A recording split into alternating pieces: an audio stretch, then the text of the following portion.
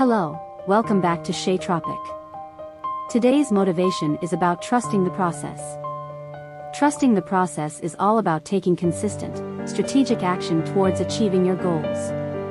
It's about making progress, no matter how small, and embracing the journey, allowing it to help you grow and get closer to the end result. Through trusting and understanding the process, you can unlock your potential for success. Have a wonderful day.